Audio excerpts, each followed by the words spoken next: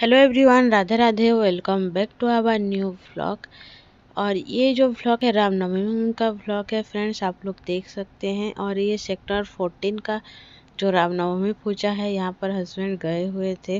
मतलब वो ग्रुप लोग, सब लोग मिलके जो है पूजा कर रहे थे यहाँ पर। तो ये थोड़ा सा वीडियो में आप लोगों के साथ शेयर कर रही हूँ, जो कि हस्बैंड शूट करके लाए हुए थे। और आप लोग देख सकते हैं कितना बढ़िया जो है यहाँ पर यहाँ पर जो है प्रसाद भी बन रहा था। राइस, डालमा, खीर वगैरह कुकिंग हो रहा है, आप लोग देख सकते हैं यहाँ पर फ्रेंड्स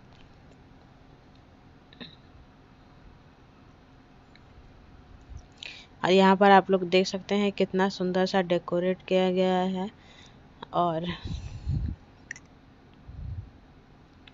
आप लोग देख सकते हैं फ्रेंड्स, बहुत ही ब्यूटीफुल सा डेकोरेट किया गया है वहाँ, यहाँ पर। और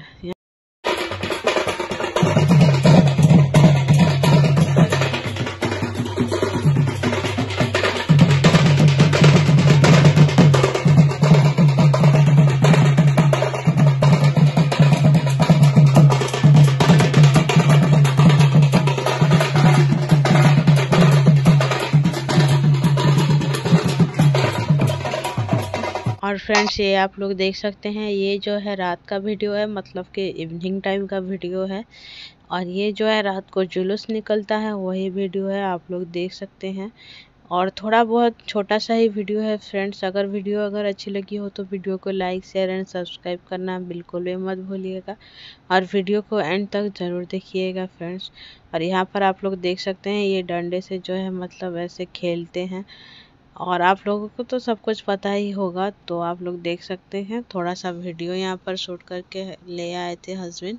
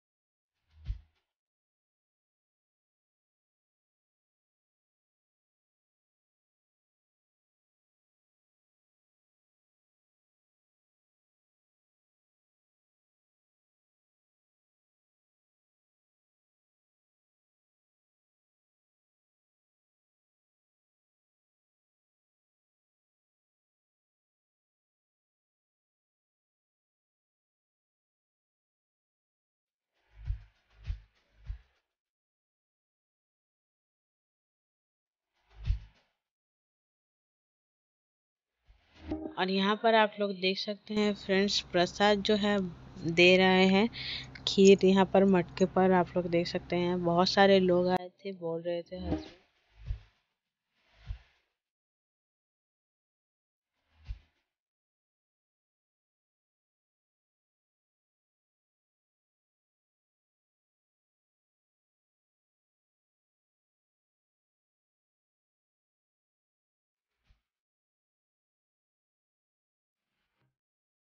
यहाँ पर आप लोग देख सकते हैं फ्रेंड्स हस्बैंड भी जो है ये बैग आप लोग देख सकते हैं, जय श्री राम लिखा हुआ था।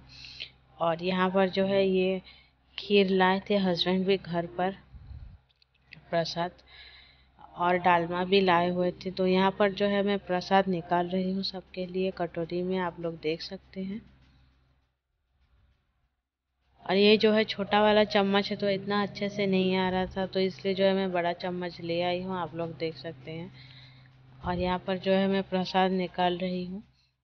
और मम्मी पापा और मेरे देवर जी सबके लिए जो है मैं प्रसाद निकाल लूँगी मतलब कि मम्मी पा, मम्मी पापा और बुआ जी के लिए मेरे लिए सबके लिए।